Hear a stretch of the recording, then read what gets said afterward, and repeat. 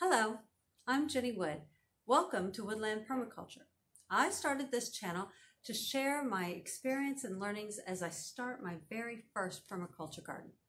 Okay, so I'm just getting started and I'm no expert and I'm going to make a lot of mistakes, but I'm kind of hoping to show that anyone can do this in whatever space that you have and that you can at least get started with it.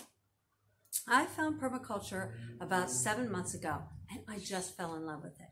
It was truly inspiring to me to know that I could grow my own food, take better care of my health, and even help the earth at the same time.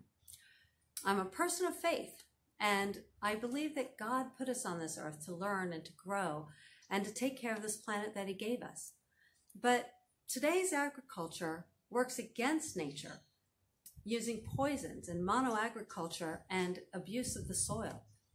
The things that nature can do are truly inspiring. And if we can learn to work with nature instead of against it, we can create real abundance, enough food for everyone and more. And we can regenerate our soil, sequester carbon from the air into the ground, and even reverse climate change. And that is what is so inspiring to me about it that we can fix what we have done to this earth, and permaculture can be a big part of it.